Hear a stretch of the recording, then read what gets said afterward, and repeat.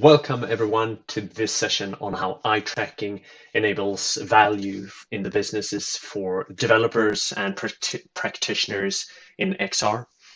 My name is Johan Bouvin. I am the director of XR ecosystem software here at Tobii. And I'm going to talk to you today about how eye tracking has been applied and utilized in successful businesses over the decades I also want to talk to you how I see this transfer into the area of XR and have a little bit of a sneak peek into the future XR devices and what we can expect from those going forward. Eye tracking is providing proving foundational in XR at the moment. It is a core component in some of the best possible HMDs going forward. My colleague Doug Eggert just spoke about how you can expect this to roll out in XR HMDs going forward because device manufacturers are including eye tracking as a standard in their devices. And eye tracking is also becoming part of the ongoing standardization work in the industry led by, for example, Khronos Group with the OpenXR standards. So in the simplest of terms, eye tracking is here. For those of you who don't know Tobii, we have been around for about 20 years focusing on eye tracking and its applications. Our vision has always been that eye tracking will become an integral part of all man-machine interfaces simply because it gives such a broad channel of communication uh, with utilizing eye gaze, both in terms of controlling our machines and in helping our machines understand us better. I've been part of the company almost from the start, and I took the liberty here today to do a little bit of research back and see how eye tracking has been applied and how I see that moving into the XR space in these days when eye tracking is coming into the headsets. Eye tracking per se has been around for quite a long time. It's probably close to 100 years since the first manual eye tracker started. Simply a picture with a hole in the middle and a physician observing a patient through that hole to see where the eyes moved. Then over time, these have become automated machines First, very expensive ones for research and the like, but as time has gone on, and especially in the last two decades, eye tracking has made it into more and more affordable devices. And today, you'll find eye trackers integrated in consumer devices such as monitors, smartphones, laptops, and of course, VR HMDs. Tobii is today the world leader in providing eye tracking technologies for the industries. We are the ones that provide eye tracking into Alienware laptops. We provide it to HTC's Vive Pro Eye, and we're also super excited about the latest addition in consumer devices, which is the Pico Neo 2 Eye. Also, eye tracking from Tobii is integrated into future devices and in reference designs by Qualcomm that target those future devices, which is a really, really strong position, I think, to have going forward.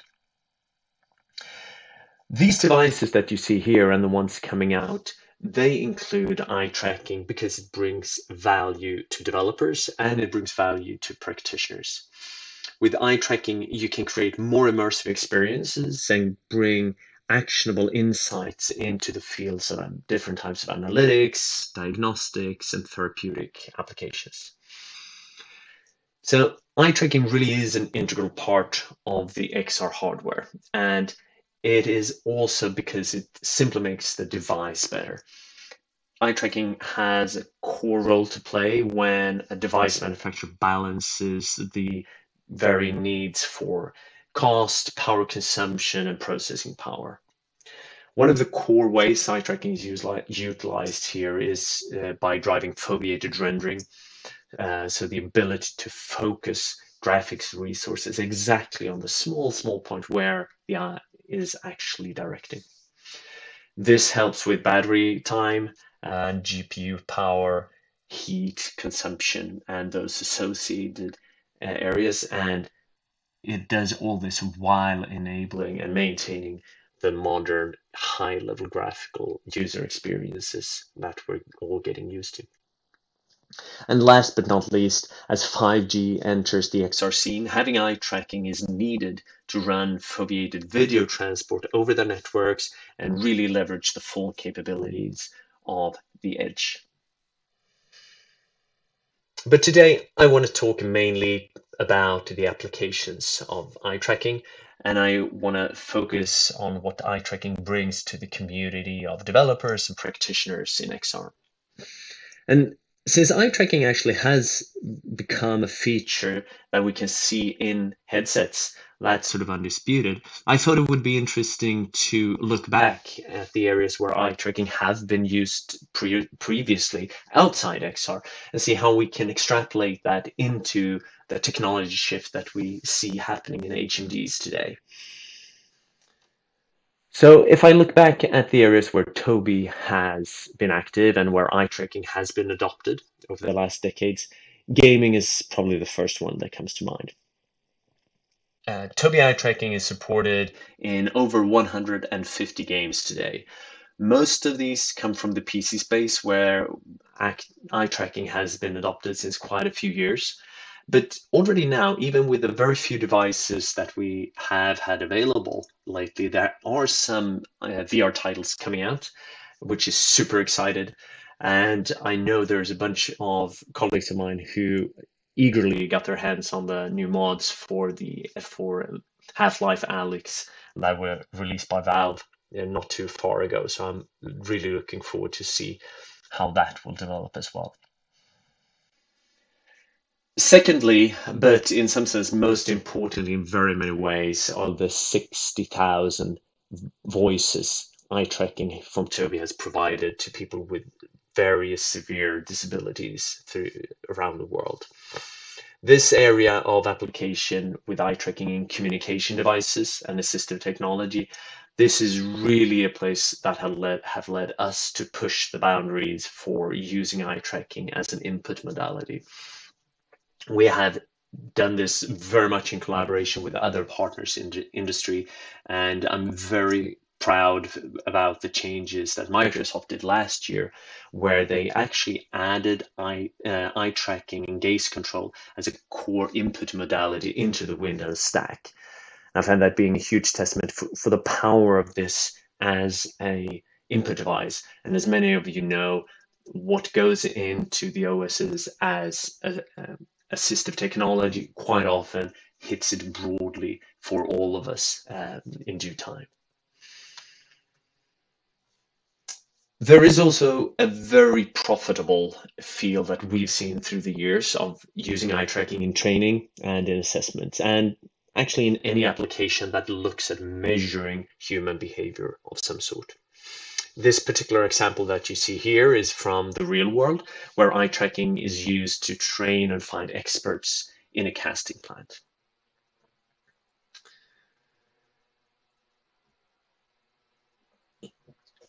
Finally, it's um, impossible not to mention the recent explosion in remote collaboration applications. I'm sure that you have also seen a couple of interesting examples uh, of new types of remote collaboration, both screen-based and in VR. And VR really does a good job of mimicking the real interactions in many ways, and live eye movements for Avatar has an amazing way of propelling the experience out of the uncanny valley.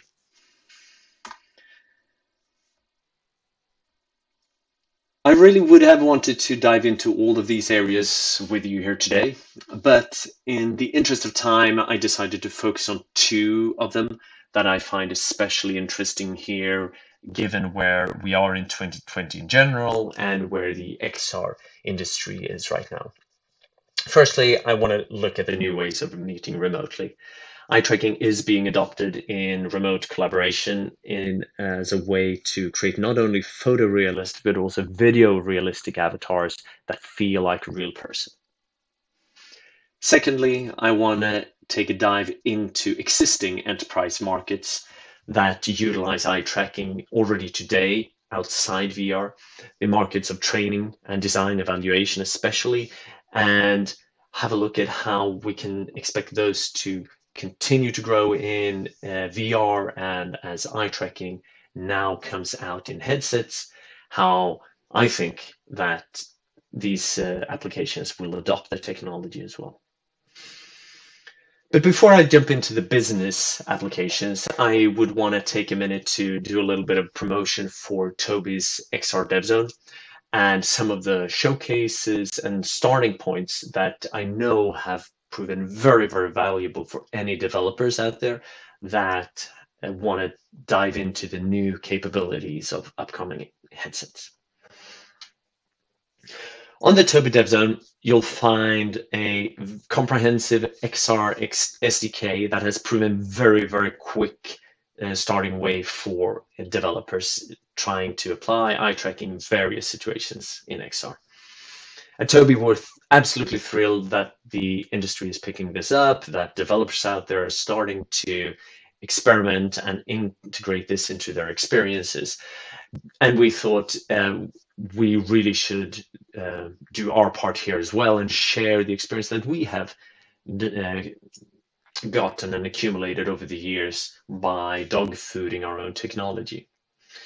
So what you'll find in these SDKs is really valuable tools, uh, samples, showcases to get you kickstarted, and I highly encourage any developer out there who has a Vive Pro Eye or the new Pico Neo 2 Eye to check these SDKs out. But first, in terms of enterprise applications, let's dive into remote collaboration.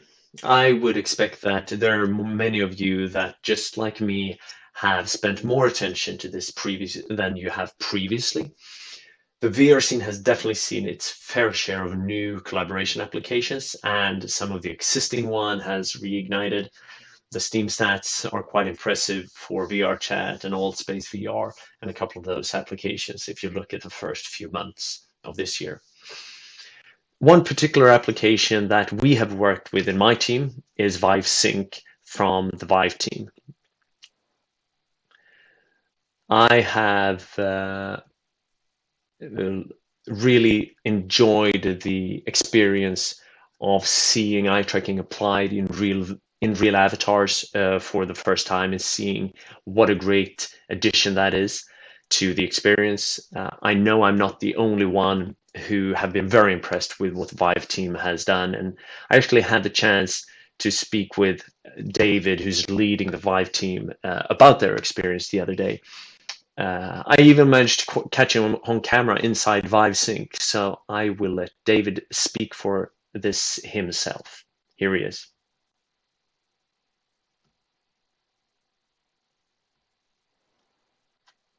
Hey everyone.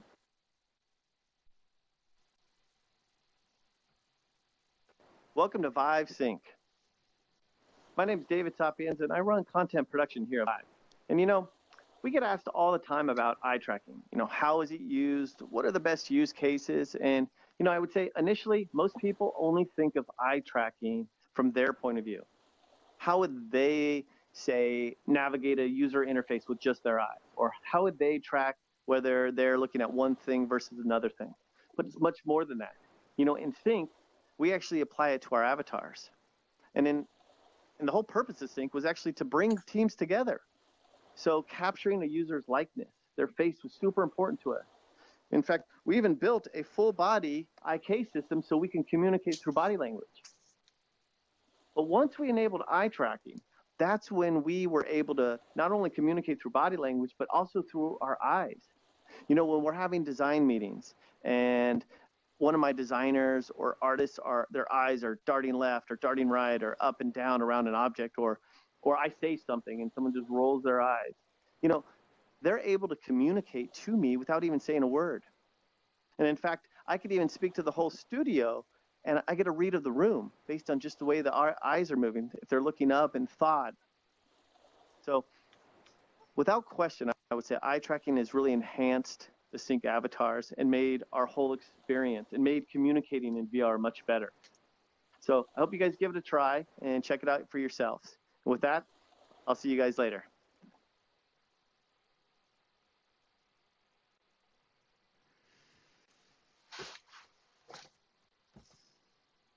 Big thanks to David uh, at ViveSync. If you look back at how avatar animation has been done in VR, you realize that the eye movement is actually a quite known problem that a lot of developers have experienced and handled in various ways. You can first of all show no eyes. That's what the Oculus team did in the very first avatars they had. Uh, they did a very, very solid job on what is a good avatar. And one of the conclusions was that you have to cover their eyes because otherwise they look really, really strange. That is true if you start having really humanoid avatars. You can avoid that in the way that Steam did in their avatars as well. You make cartoony avatars with big bulging eyes that are fixed straight forward, but they still look very friendly and happy uh, as long as you do the cartoony part right.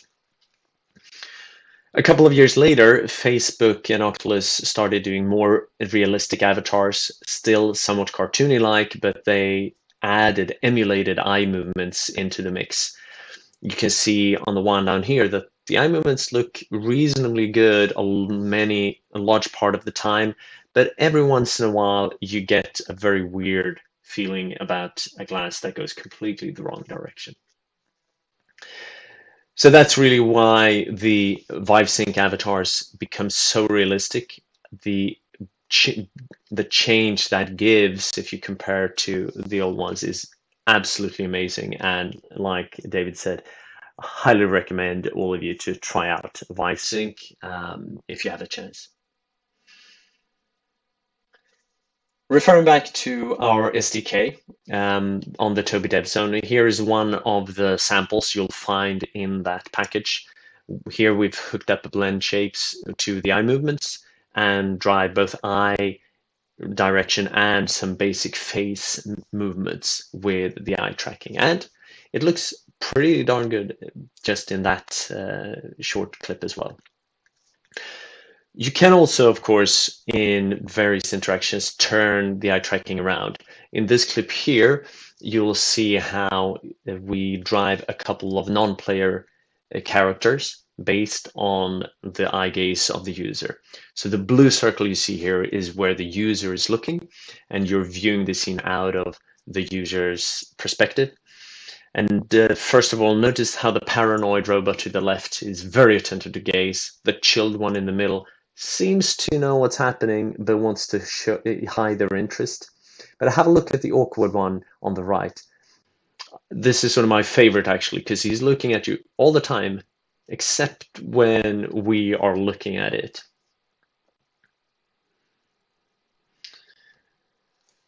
But again, the real magic in my mind happens when we gaze into the eyes of another person. I think the emotional response we get from that is something that we're so used to in our everyday interactions that we seem to take it for granted. But when you see it in VR, or rather when you see the absence of it in VR, then you really understand how fundamental eye contact is. So, needless to say, one of the more powerful experiences we have on our dev zone as well is this short avatar scene. Just get in there, take a mirror, and look at yourselves without eye tracking and with eye tracking. The difference is quite astonishing, actually. Moving on to the next uh, application area of eye tracking, I want to talk a little bit about various enterprise applications and how eye tracking has been used historically, both outside VR and now lately inside VR.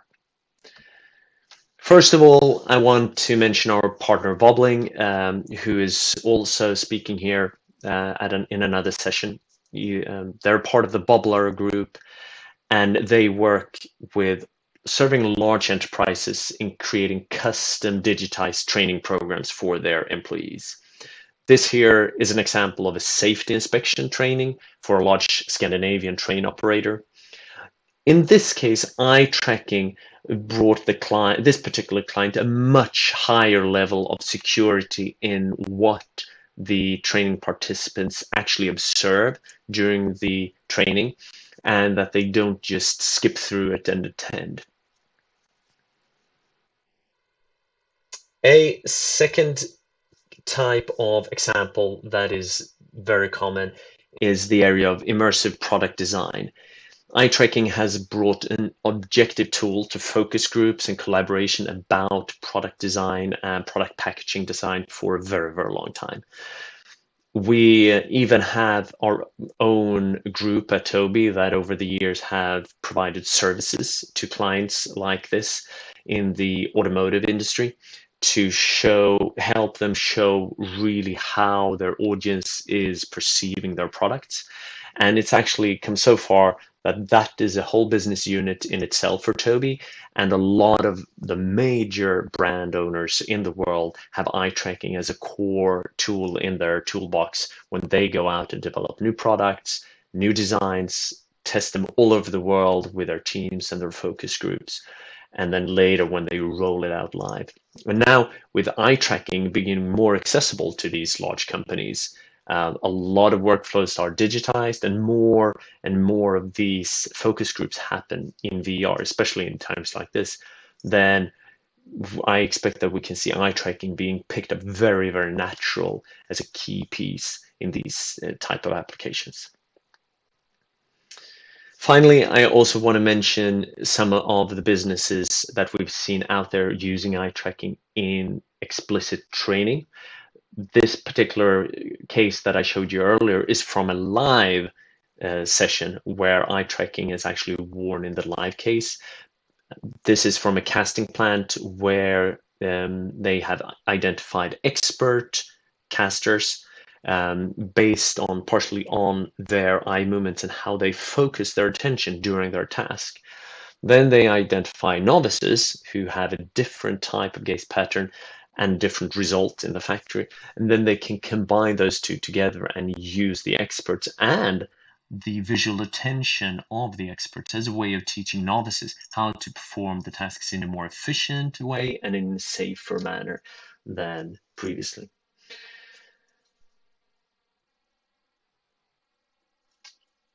This is the what um, Jacob Hamill from H&H Castings said about the experiences, and this goes a long way for the value of using these kind of technologies. And this is something that we quite often see moving into XR as well, having large, expensive, and potentially dangerous um, environments being reproduced in VR and used in teaching. So this is an area where I know that we have a lot of interest for eye tracking, and I see the combination of eye tracking moving into XR and a proven um, footprint in that market being very, very interesting to see how that takes off over the next um, quarters and years. And again, going back to the developers and practitioners out there, there is a lot of inspiration. There is a lot of know-how in these areas, and we have tried to accumulate what we have Tobii and share it as openly as possible. This talk today is part of that, and we also have a lot of material on our dev zone and our business unit for analytics and behavioral uh, behavioral studies, Tobii Pro, has a lot of know-how about how eye tracking is applied in those kind of areas as well. Here is a little resource list with some of the texts uh, or some of the material that I shared during this presentation. Grab a screenshot um, or uh, ping out in the chat afterwards. And with that, I want to thank you very much for joining me here today and looking forward to seeing you all soon in real life or in VR out there.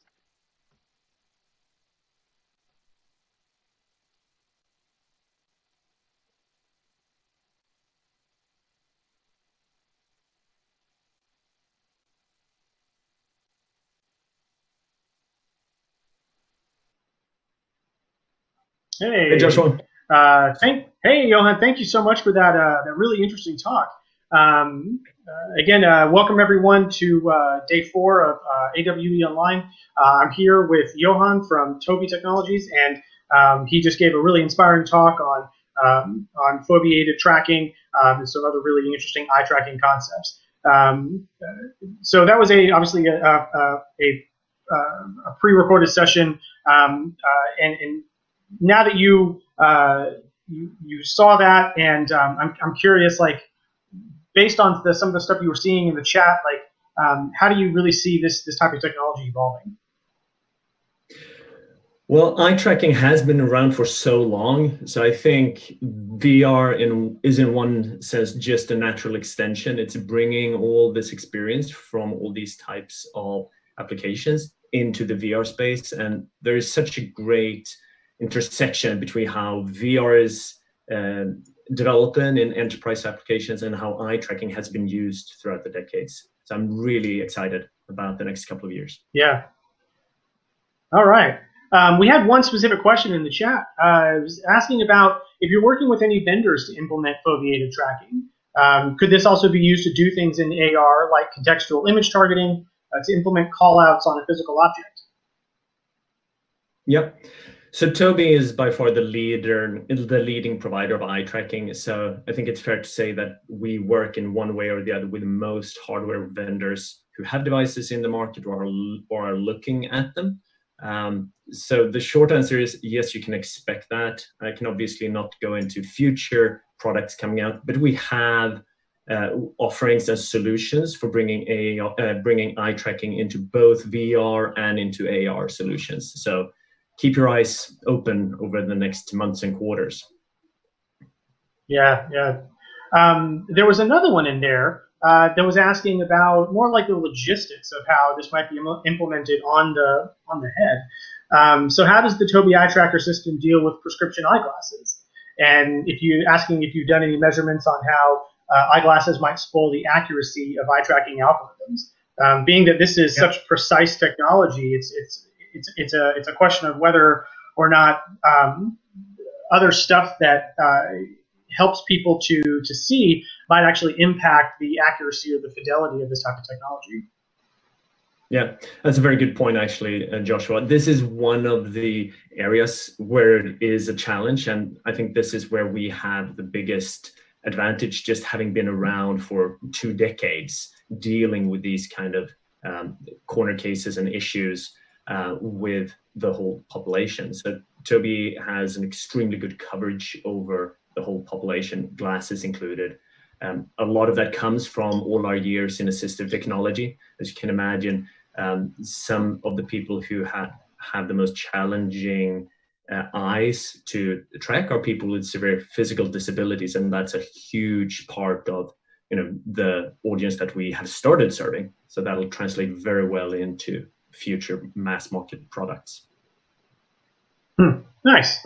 Uh, and then a question that's uh, near and dear to my heart. Um, uh, like I said before at the top of the top of the talk, um, I'm with uh, Verizon 5G Labs, and we're exploring all the different ways that 5G can be used um, in a variety of use cases, both uh, commercial as well as consumer. And so it, it seems it seems like um, the there's a lot of um, benefits that come with uh, the type of technology that, that is um, foveated tracking. And I'm curious um, with the as companies and organizations that would adopt this technology, as they begin also adopting things like 5G and edge computing, um, how will foveated uh, technology evolve? And um, will will the capabilities of 5G with edge um, reduce the need for, for foveated, uh, foveated tracking, or, or how do you see that playing out?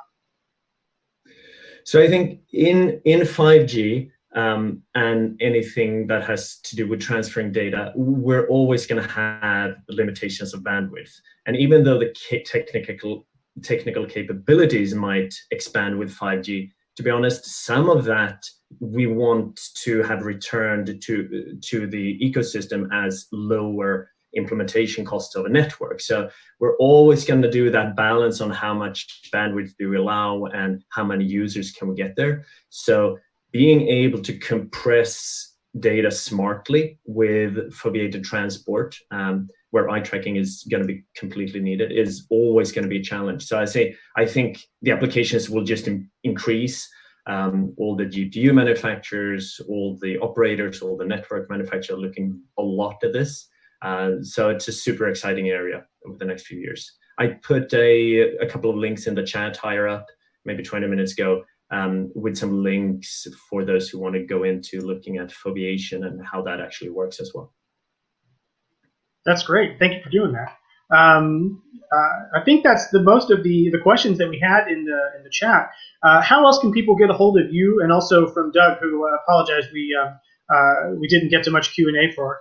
Um, but how, how can uh, any of the audience how can they um, follow up with you or or, um, or continue to ask questions of, of you and Doug? Drop, drop us an email is probably the easiest. Uh, we have some information in the chat. Um, obviously, the regular websites, tobii.com is a great place, but email is always good. So I'll post both of our emails into the chat here after the session. That sounds great. Cool. Well, thank you, Johan. Uh, that was very inspiring. And uh, between those two talks, I feel like I'm uh, on the way to being an expert at foveated transport.